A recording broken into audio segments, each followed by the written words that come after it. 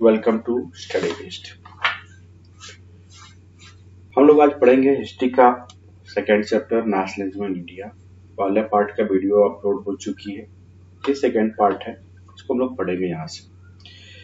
जैसे हमने first part की बात करें तो हम लोगों ने एक ड्यूरेशन को टच किया था। वो ड्यूरेशन क्या था? तो आप जानते हैं कि वो ड्यूरेशन था आपका 1915 टू 1920 ये पाँच साल का ड्यूरेशन जो है, हम लोगों ने इस चीज़ को देखा था। इस पाँच साल में बहुत सारी चीज़ जो है आपको दिखाई देंगी। पहला कि इस पाँच साल के बीच में पहला क्या कर कंडीशन था कि हम लोगों ने सत्याग्रह देखे थे। तीन सत्याग्रह हुए थे, जो बेसिकली चंपारण सत्याग्रह सत्रह में हुआ था। अठारह की बात करेंगे, जहाँ पे हम लोग सत्रह में ही बात करेंगे, जो आपका खेड़ा सत्याग्रह हुआ था, अठारह में अहमदाबाद सत्याग्रह हुए थे। दो सत्याग्रह के बाद हमने सॉरी तीनों सत्याग्रह के बाद हमने क्या देखा कि एक दो जो जगह भी है, बरदोई सत्याग्रह। हम एक लोकेशन की बात करेंगे तो लोकेशन भी देख सकते हैं, कहाँ कहाँ पे हो सकते हैं। तो लोकेशन के मामले में वो कहा जा सकता है कि आपको क्या दिखाई देगा? तो चंपारण सत्याग्रह जो सबसे पहला था, वो यहाँ पे था ना? जैसे इस पॉइंट की इंडिकेट करेंगे तो ये पॉइंट क्या था? चंपारण सत्याग्रह से रिलेटेड है, ठीक है? दूसरा सत्याग्रह जो हमने खेड़ा देखा था तो इसी जगह से रिलेटेड है और यहीं पे बात करेंगे तो अहमदाबाद सत्याग्रह रिलेट करेंगे। तो तीनों जगह यहीं पे रिलेटेड है। इसके बाद हमने क्या देखा था? सत्याग्रह होने के बाद हमने क्या देखा था कि मुंबई में 1919 में क्या होता है कि एक खिलाफत कमेटी बनाई जाती है। दूसरा आप देखेंगे, एक इंसिडेंट होता है 1919 को, जो ये पॉइंट सॉरी इस पॉइंट को जो है इंडिकेट किया जा सकता है। ये जगह जो थी, अमृतसर थी। अमृतसर के अब सॉरी जालियावाला बाग जहाँ पे हुए थे अमृतसर में। तो यहाँ पे आप देखेंगे कि एक कंडीशन हुआ था कि यहाँ पे आपको ये चीज़ें दिखाई देंगी। ठीक है? तो ये चीज़ हम लोगों ने एटलीस्ट देख ली थी। आज की अगर हम बात करें तो आज हम लोग क्लास करेंगे किसी बात की तो आगे ये क्लास क्लास देंगे हम लोग आज जो टॉपिक पढ़ने वाले हैं, वो टॉपिक क्या है? तो आप देख सकते हैं कि why the non cooperation movement एक ब्रॉड मूवमेंट की अगर हम बात करेंगे कि अगर हमें ब्रॉड मूवमेंट की ज़रूरत थी तो ये ब्रॉड मूवमेंट हमें कहाँ से मिला और क्यों मिला? क्यों ज़रूरत पड़ी कि आप बोल सकते हैं नॉन कॉपरेशन मूवमेंट ठीक है ना? इसके पीछे कुछ स्टोरीज है जिसके बारे में कोरिलेट करने की कोशिश कीजिएगा। यहाँ पे आप देखेंगे कि महात्मा गांधी की एक बुक का नाम यहाँ पे लिखा जाएगा। उस बुक का क्या नाम होता है? हिंद स्वराज। ठीक है? इस बुक का क्या नाम है? हिंद स्वराज। तो हिंद स्वराज जो है 1909 के में बुक उन्होंने पब्लिश की थी, जिसमें कहा था कि ब्रिटिश गवर्नमेंट जो स्टैब्लिश है India it is only due to the corporation of the Indians and has a service only because the corporations. If Indian refused to cooperate British's rules in India would be collapse, sorry, collapse within the year and Swaraj would be come. तो यहाँ पे दो सकते हैं कि यहाँ पे कुछ बातें इंडिकेट की गई कि इंडिया में जो भी ब्रिटिश गवर्नमेंट है वो इस बात पे डिपेंड करती है कि हम क्या कर रहे हैं कि हम कॉपरेट कर रहे हैं। क्यों? क्योंकि यहाँ पे आप देखेंगे कि जो भी जमींदार थे ब्रिटिशर्स को सपोर्ट कर रहे थे बड़े जो राजा महाराजा थे कुछ सपोर्ट में थे कुछ उसके अगेंस्ट में भी थे। जितने भी वर्कर आप एम्प्लॉय की बात करेंगे तो मैक्सिमम केस में हमने क्या देखा था? इंडियन वर्कर वहाँ पे काम कर रहे तो ये कॉर्पोरेशन कहीं ना कहीं हमारे इंडियन के विरोध भी जा रहा था, अगर ये कॉर्पोरेशन हम हटा देंगे तो एक कंडीशन क्या बनेगा? कि कुछ समय के बाद पूरी की पूरी गवर्नमेंट क्या हो जाएगी? कोलैप्स कर जाएगी और हमें क्या मिलेगा? स्वराज मिलेगा। तो यहाँ पे भी वर्ड आता है, स्वराज। क्या मतलब होता है? स्वराज करने का मतलब क्या होता है कि सेल्फ गवर्नेंस की बात करेंगे है ना यहाँ पे हम लोग क्या करेंगे? सेल्फ रूल्स की बात करेंगे। यहाँ पे हम क्या कर सकते हैं? ब्रिटिशर्स के रूल्स के अंदर में ये गवर्नमेंट आ जाएगी। इसी को कहा गया स्वराज। ठीक है ना? How could be non cooperative movement become a movement ठीक है ना? तो देख सकते हैं कि इसके मूवमेंट के कॉज की बात करेंगे तो तीन चार कॉज इसमें इंक्लूडेड है। Rowlatt Act Jallianwala Bagh incident और खिलाफत इन तीनों चीज़ों को देख सकते हैं कि एक रीजन था नॉन कॉपरेटिव मूवमेंट को स्टार्ट करने के क्योंकि ये बेसिकली उन्होंने बेस बनाया। ये तीनों इंसिडेंट आप देखेंगे तो नॉन कॉपरेटिव मूवमेंट के लिए बेस बनाया गया तो यही बेस आगे प्रमोट हुआ कि कैसे जो है तो गवर्नमेंट जो है ये इंडिकेट करेगी। ठीक है ना? तो यहाँ पे हम देखेंगे कि आपका डीका भी हुआ था कि किस कंडीशंस में जो है उन्होंने ये मूवमेंट क्रिएट करने की बात की थी। ठीक है? आगे देखते हैं। ठीक है? How could non cooperative movement become become a Okay.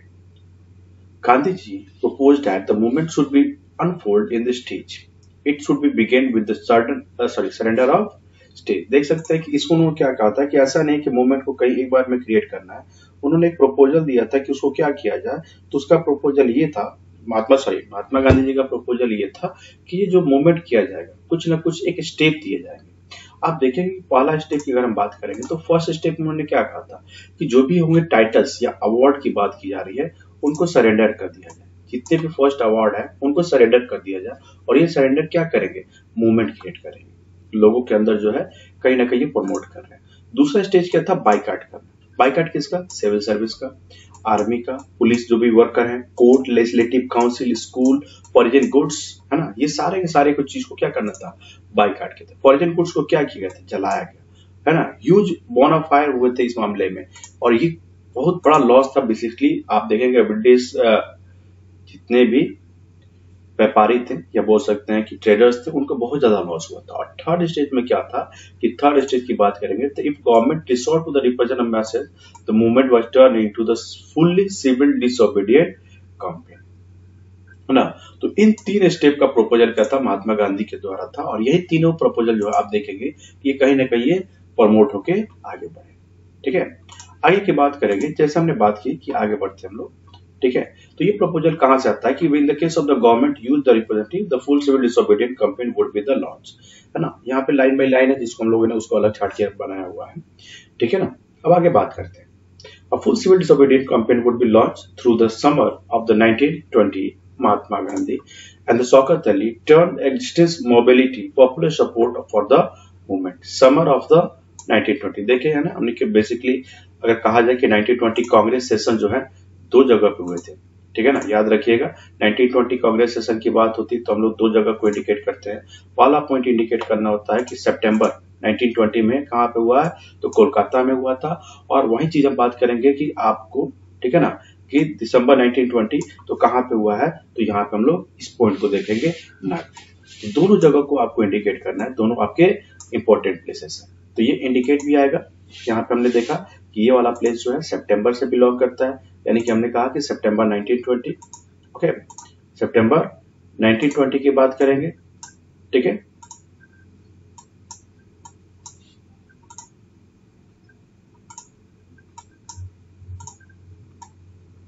Okay and then we can be consider the particular point ठीक है ना? तो इस चीज़ के बारे में लोग आगे इंडिकेट करेंगे, ठीक है? मिनट चलिए। तो हमने देखा था कि 1920 में दो हुए थे, कांग्रेस सेशंस हुए थे 1920 में कोलकाता में और दूसरा नागपुर में इस जगह को इंडिकेट कर सकते हैं। यहाँ पे आपको नागपुर दिखाई देगा, ठीक है ना? दोनों जगह यहाँ पे इंडिकेट है। आपको समर सेशन यहाँ पे हुए थे और बेसिकली विंटर सेशन में यहाँ पे बात करेंगे। यहाँ पे सितंबर 1920 कांग्रेस सेशन और यहाँ पे दिसंबर 1920 कांग्रेस सेशन। ये दोनों एक दूसरे से रिलेटेड आते हैं, ठीक है?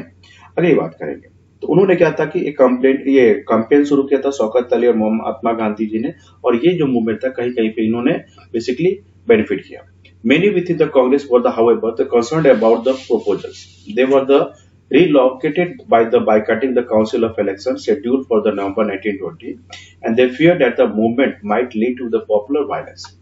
In the month between the September and December, there was the intensive tussle between the Congress, within the Congress.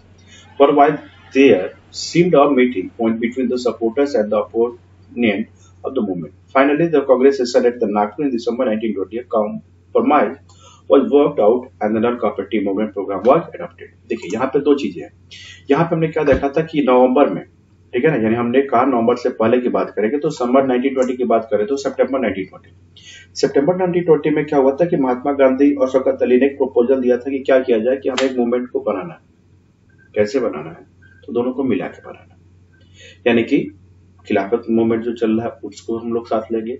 और साथ साथ में क्या करेंगे? हम किसको कंक्लूड करेंगे? सिविल डिसऑर्डिन मूवमेंट को। सॉरी नॉन कॉपरेटिव मूवमेंट को। इन दोनों को हम लोग आगे करेंगे बट कंडीशन क्या बनता था कि बेसिकली कांग्रेस के अंदर भी दो पार्टीशन थे, दो पार्टीशन में कहने का सेंस होता है कि कुछ लोग जो है, उसके अपोज हो रहे थे, कुछ लोग जो थे, उसके सपोर्ट कर रहे थे। और यही दोनों के बीच में क्या था कि कहीं कहीं ना कहीं आइडियाज़ नहीं मिला था। बट दिसंबर नागपुर में आप देखेंगे ना दिसंबर 1920 कांग्रेस सेशन जब यहाँ पे फाइनली होता है तो वहाँ पे लोग जो भी थे, उन्होंने दोनों चीज़ को अडॉप्ट किया और इस तरह से मूवमेंट जो ये ब्रेकडाउन की बात करेंगे। यहाँ पे हम देख सकते हैं स्टेजेस की बात करें इकोनॉमिकल इम्पैक्ट की बात करेंगे। तो जैसे इसका इम्पैक्ट क्या होता है, आगे हम लोग बात करेंगे। ना how did the movement unfold who participated in how did the different social group convince to the idea of national corporation ठीक है ना? तो अब यहाँ पे हम बात करेंगे कि जो भी मूवमेंट में पार्टिसिपेंट लोग थे, उसमें जो है अलग अलग लोग जो है, बात करेंगे।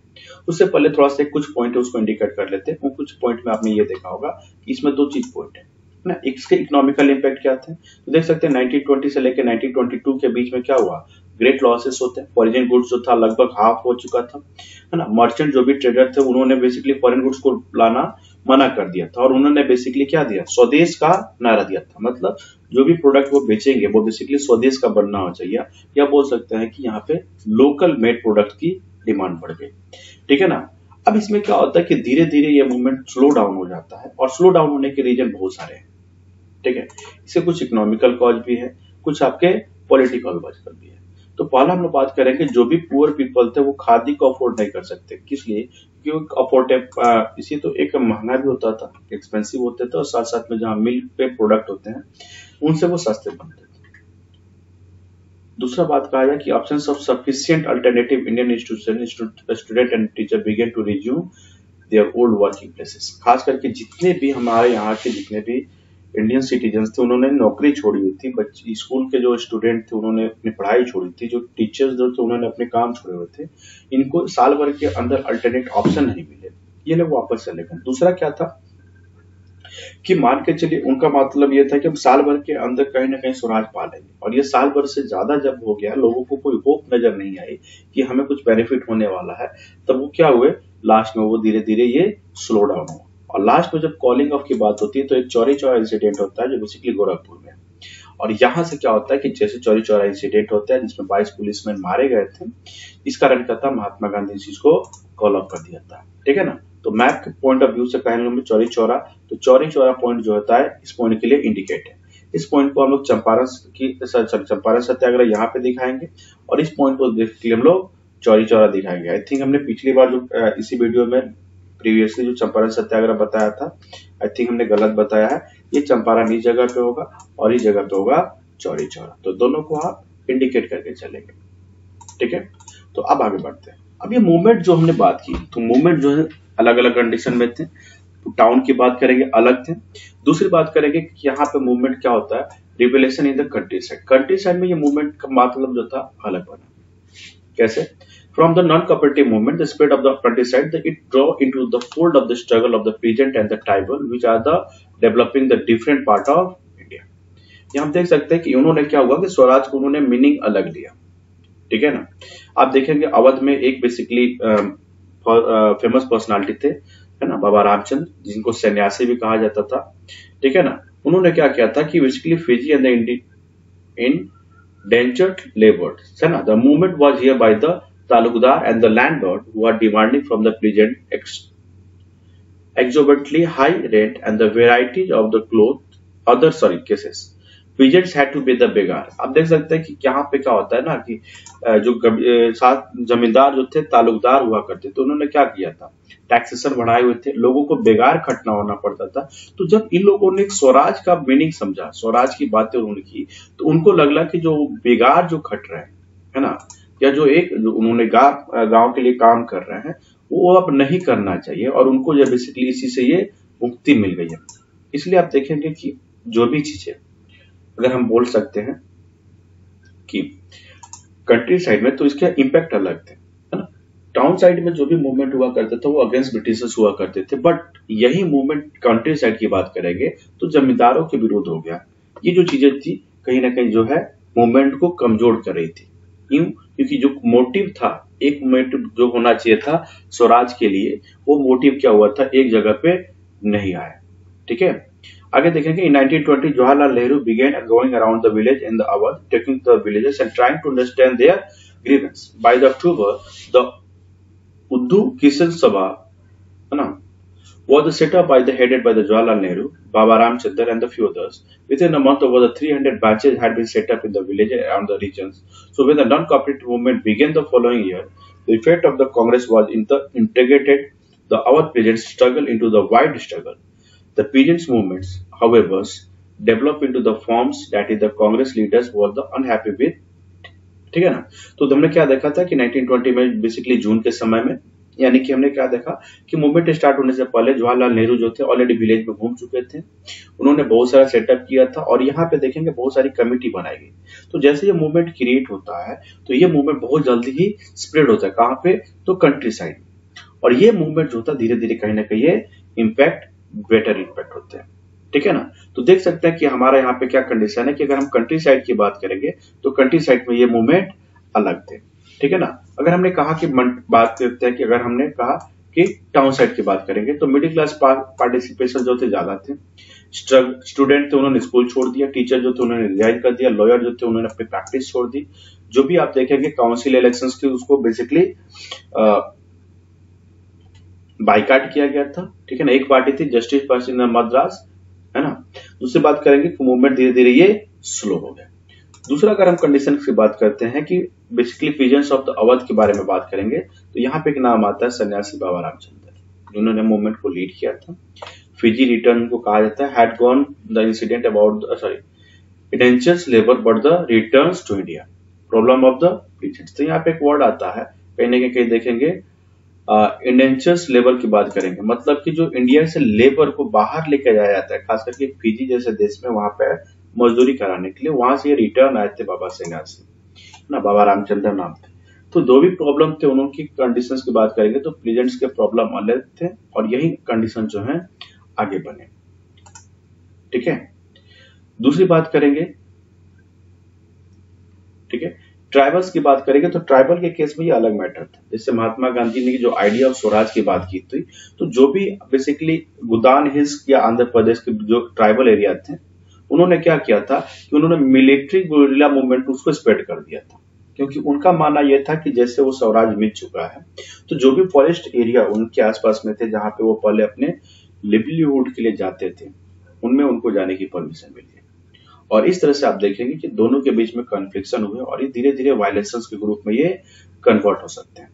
यहाँ पे एक नाम आता है, जो बेसिकली हम जानते हैं, अलौरी सीताराम राजू। ठीक है? एक नाम समझ लीजिएगा अलौरी सीताराम राजू। अभी एक नई नई मूवी आई हुई है ट्रिपल आर और आर आर आर में जो एक नाम आता है अलौरी सीताराम राजू बेसिकली इसी से बिलोंग करता है। एक फ़ेमस पर्सनालिटी थे उन्होंने बेसिकली कहा जाता है कि उनके पास स्पेशल पावर हुआ करती थी लोगों को basically he could make a correct astrology prediction and the peoples and could be survive even the bullet shots है ना? Captivated by the Raju, the rebels proclaimed that he was an instance of the god.